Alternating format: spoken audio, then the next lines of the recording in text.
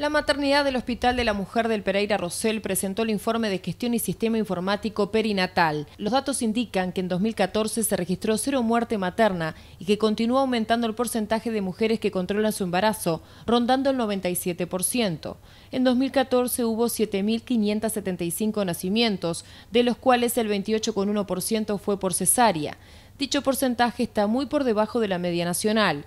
Por otra parte, los recién nacidos prematuros se mantienen un 10,2% y se redujo la mortalidad neonatal global del servicio, que se situó en 7,2 por mil nacidos. Sin embargo, sigue siendo motivo de preocupación el elevado porcentaje de embarazos adolescentes, que ronda el 28% de embarazos atendidos en el Pereira Rosell, frente a un promedio nacional del 16%. Estos datos son muy relevantes, porque uno de cada seis uruguayos nace en dicha institución, que además es centro de formación académica en el área materno-perinatal.